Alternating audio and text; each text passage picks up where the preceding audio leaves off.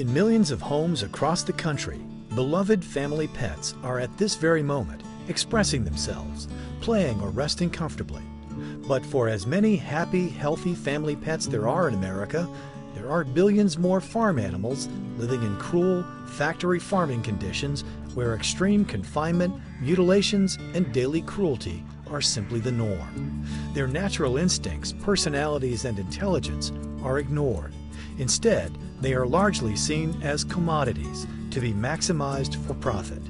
Animals used for food live in appalling conditions, which raises the question if this isn't acceptable for family pets, then why is this happening to our farm animals? Most people are humane and do not support cruelty. But most people are also unwittingly supporting cruelty by buying meat, milk, and eggs that is raised in these factory farms. And the fact is that cats and dogs and cows and pigs and chickens and turkeys are very similar in terms of their emotions, in terms of their feelings. They feel pain, they feel fear, they also feel joy and pleasure. And these animals deserve to be treated with respect and compassion just like other animals. The good news is awareness is spreading. This is largely due to organizations like Farm Sanctuary that rescue and rehabilitate farm animals from cruel conditions and educate people about who these animals really are and what each of us can do to protect them. For starters, shifting our diets to include more plant-based foods and less meat would make a tremendous difference to both animals and people.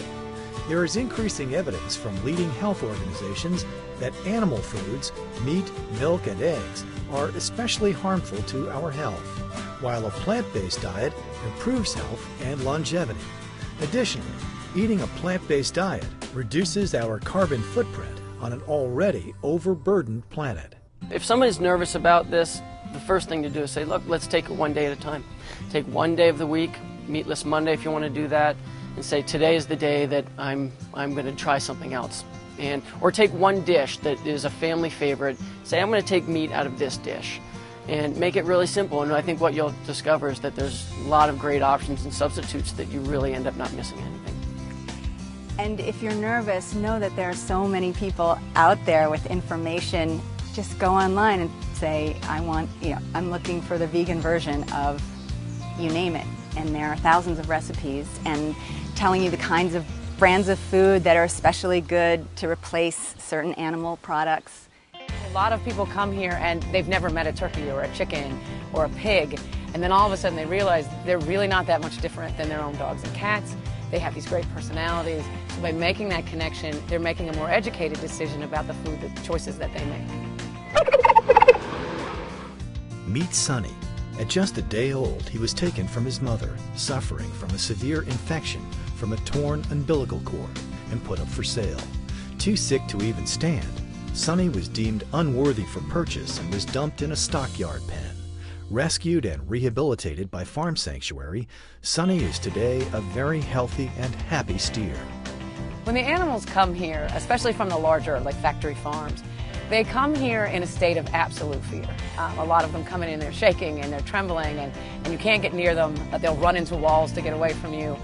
And watching the transformation, like the animals right here, the sheep that are behind me, 98% of them came in so scared of us that it was really even hard to deal with them. And if you look at them now, they feel safe and they feel happy. The spotlight on farm animal issues continues to grow.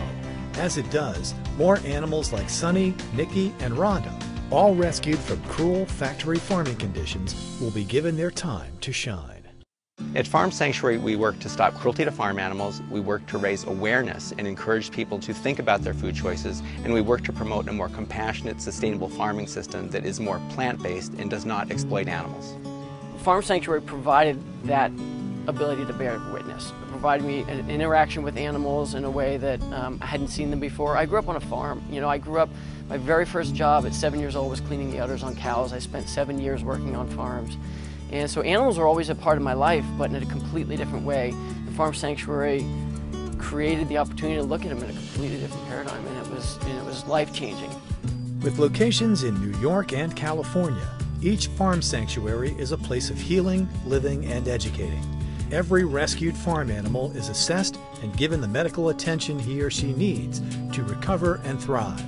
From there, many are either adopted into permanent loving homes or will live out their lives at one of three locations.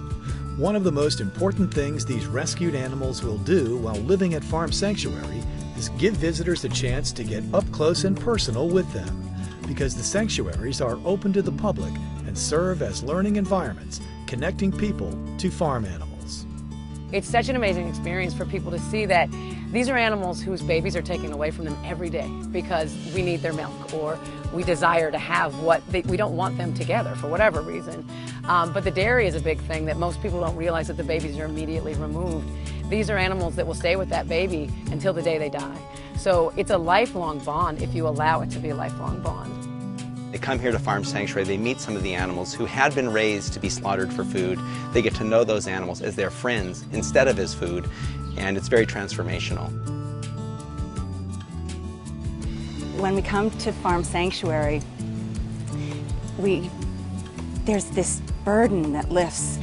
It's everything about this place. It's it's how the humans are warm and loving and they treat the animals with love and respect and nature is respected.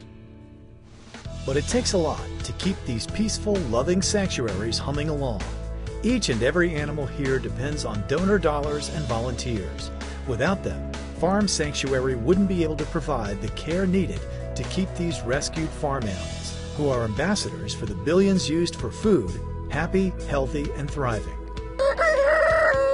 We encourage people to come visit Farm Sanctuary, and we also encourage people in communities to get involved. And Farm Sanctuary is happy to provide literature, videos, pictures, online resources. We just started a program called Compassionate Communities, where you can, in your own community, start like a, a veggie meetup group and like meet and talk. Um, write letters to your congressman and learn as much as you can about the industry and what we can do to make changes in that industry. Because as an individual, you can make a huge number of changes, and as a community, you can make even more changes. Until there is an end to cruel factory farming, there will always be a need for Farm Sanctuary, a safe haven for our farm animal friends. To learn more or find out ways you can help, visit us online